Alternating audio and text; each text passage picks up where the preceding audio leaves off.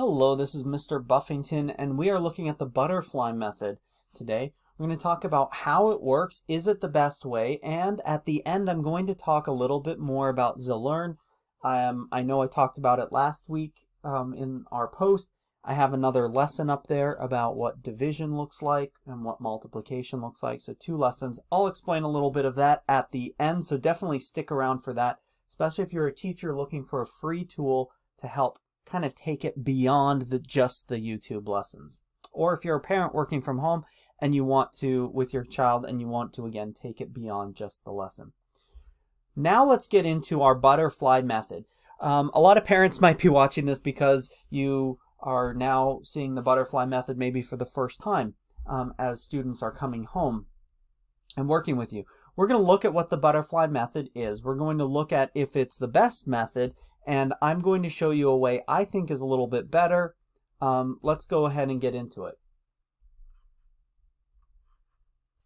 The butterfly method is a method that was developed to help with adding fractions.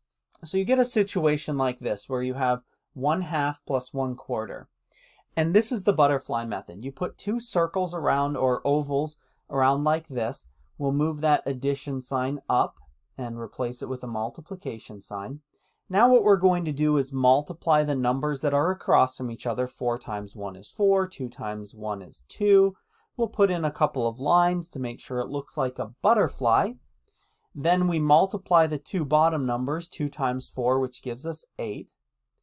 And then we're going to go ahead and do the math on this. So we have up top, we've got 4 plus 2. That gives us 6. On the bottom we have 8. We'll add on that little part to make it look like a butterfly. And we end up with 6 eighths. At this point, every good teacher is going to tell the students you need to simplify your fraction. So simplifying a fraction is part of the steps for no matter which method you use. At this point, we're going to simplify this fraction. To do that, you list the factors of 6 and the factors of 8 you find the greatest common factor, and you'll divide the top and bottom of the fraction by that number, giving you your final answer in simplest form. That's the butterfly method in a nutshell.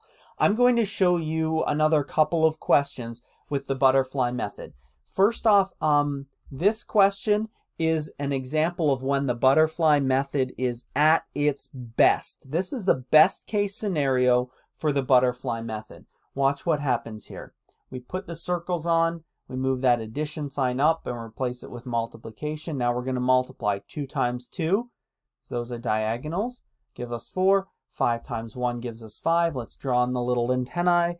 And now we multiply 5 times 2 on the bottom to get 10. That will be our denominator.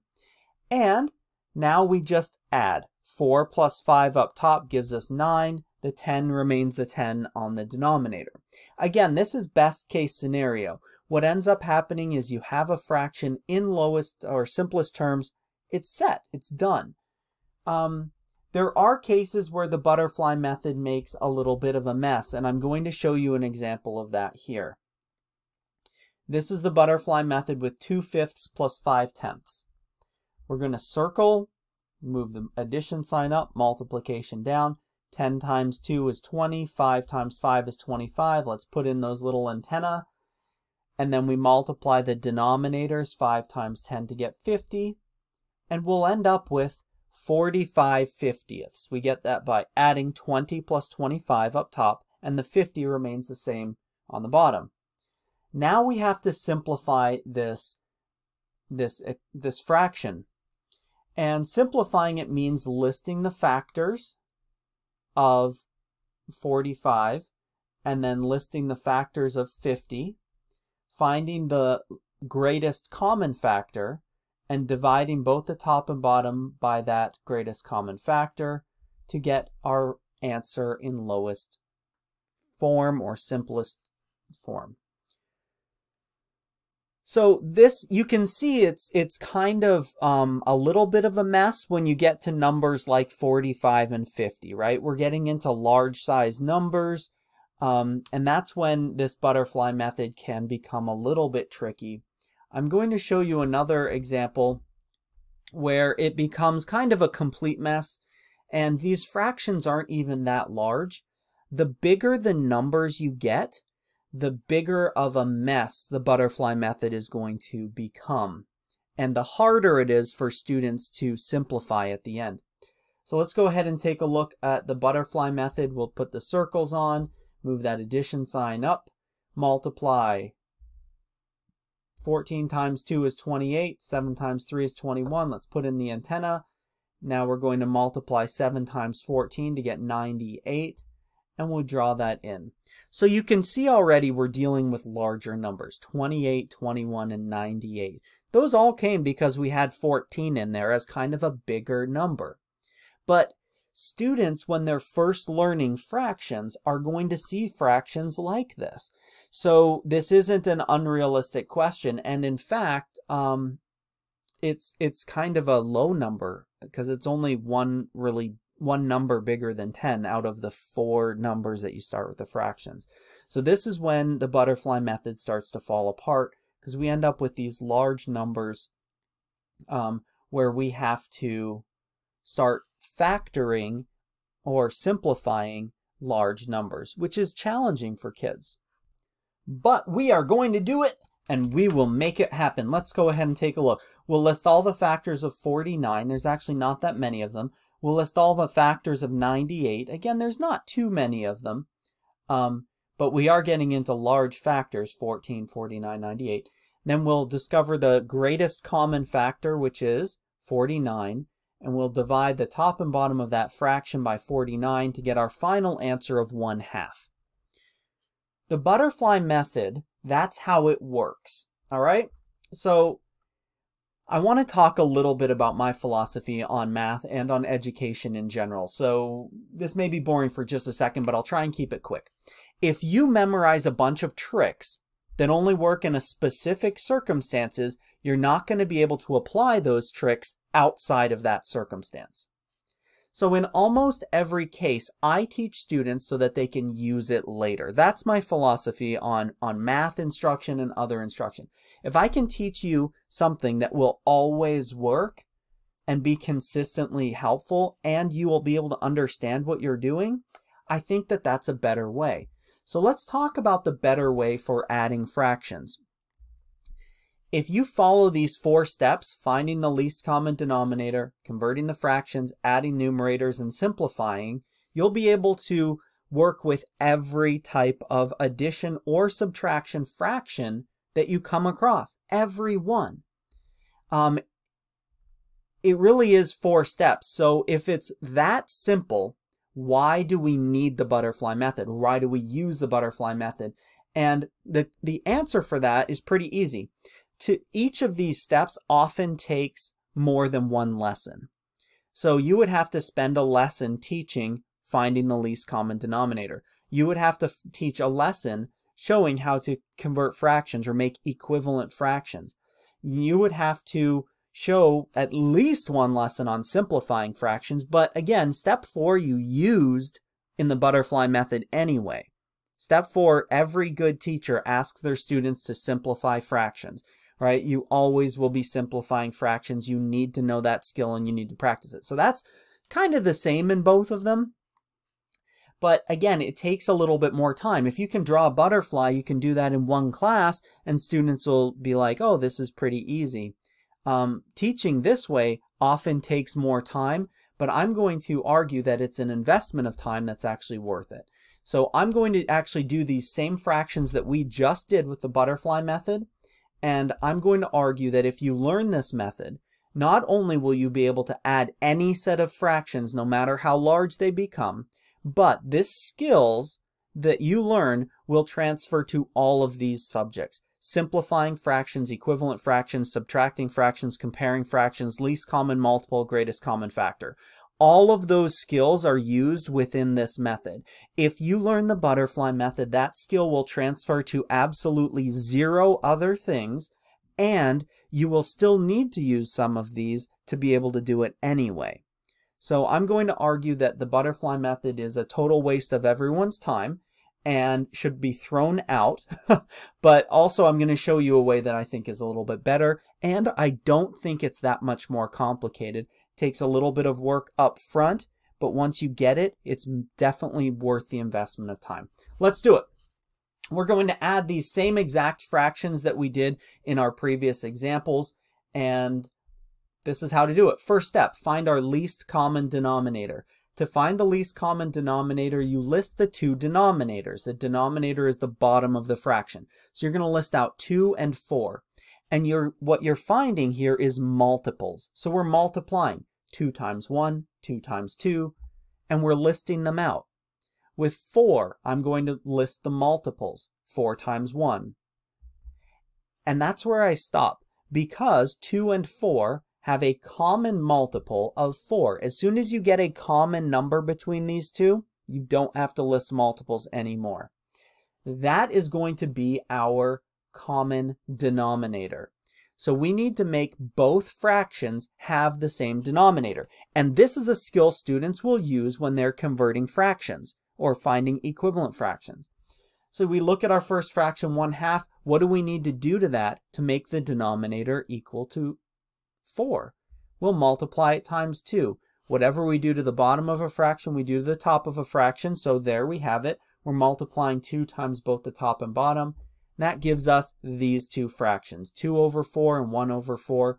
We add the, the numerators, like it says in step 3. Denominator remains the same. Now we have 3 over 4. I'm going to simplify. To simplify, you do what we did in the butterfly method. We list the factors of the 3. We list the factors of 4 and we look for common factors. If there are no common factors, we have our fraction in simplest form. That's it. Question two, 2 fifths plus 1 half. Remember, this is the one that was the best for the butterfly method. The butterfly method gave us this answer in simplest form right from the get-go. So let's see, if this is the easiest for the butterfly method, does it make it like a lot harder to do it in this method? Let's take a look. We find our least common denominator by listing multiples of our denominators, 5 and 2. In this case, we're listing out uh, multiples until we get to 10. So there is a bit of a long list there, especially with 2. I would argue that practicing multiples is, is a good way to remember multiplication tables, but either way, it is a little bit more work on this step. Now we're going to convert our fractions. To do this step, you need to change both fractions to having the denominator of 10. That means we're multiplying 2 times the top and bottom of the first fraction, 5 times the top and bottom of the second fraction. So that is some extra work, right? Now we add the numerators, we get 9 out of 10, and we would simplify. Again, simplifying is the step that we do with every fraction, so it's not really saving any time um, one way or another. There are no common factors, so we have our answer in lowest form. So you can see with this example, there is a little bit more work to do using this method than the butterfly method. But remember, this is the ideal example for the butterfly method. Now let's get into ones that were a little bit more messy for the butterfly method, and you'll start seeing that, that this method just kind of is, is incredible. We find our least common denominator by listing multiples well, until we find a common multiple, the lowest one. Then we convert our fractions by multiplying. So in this case, we do need to multiply the first fraction times 2 on both the top and bottom. That gives us 4 tenths plus 5 tenths. And when we add them, the numerators, will get 9 tenths. I'm going to list out the, the factors just to show you there are no common factors here. So that means that this fraction is in lowest terms, all right, or in simplest form. There we go. So this one here was a little bit easier using this method than using the butterfly method because the steps at the end for simplifying were a lot easier. The numbers were a lot smaller. Now let's get into this one, um, the one that made 49 over um, 98. All right, we are dealing with huge numbers we do it this way, we're not going to see those kinds of numbers. Let's look. Um, finding our least common denominator, we list the multiples of our denominator. That was pretty easy. We've got a common denominator of 14. We're going to convert the first fraction into having a denominator of 14. by multiplying 2 times the top and bottom. That will give us 4 out of 14 and 3 out of 14. When we add the numerators, we get 7 out of 14. Now this is the first example that I gave where you actually do have to simplify even though you use this method. And I wanted to do an example that was like that. When you do this method, it doesn't stop you from having to simplify. It just makes it so that the numbers are a lot smaller when you do simplify. All right? You're not dealing with 49 um, and 98, right? You're dealing with 7 and 14. And that's one of the huge advantages to doing it this way. All right.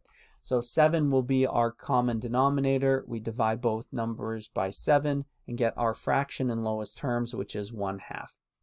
So there we go. A couple of things to remember. Practice is good. This is extra practice. Doing it um, in the method I showed gives you extra practice on least common denominator, greatest common factor. It gives you practice on finding multiples and finding factors. It gives you practice on all of those things that you really need to have moving forward. Also, I think if you teach the skills, students will grow. If you teach shortcut one-time use tricks, students can't grow past those one-time tricks. I hope that video was helpful for you, and I want you to stick around for my quick um, plug here for ZilLearn. ZilLearn, um, like I was saying earlier, is um, a program that takes math videos and goes beyond just your regular video. So although I do have videos um, on ZilLearn, um, what division looks like and what multiplication looks like, what I also have is tables, um, visuals. We've got uh, an assignment at the end with math in real life. We've got practice problems with real-time feedback that students can get. So this is taking the regular math lessons that you're getting on YouTube and taking them to the next level. So I'm going to put the link in the video description for you. I want you to check those, that out and I hope it's a helpful tool for you, especially for those two videos I put up, but also there are lots of other teachers and instructors putting videos on ZilLearn that you can check out. A good advantage of that as well is that all of the lessons are screened before they are published and they're free access to you.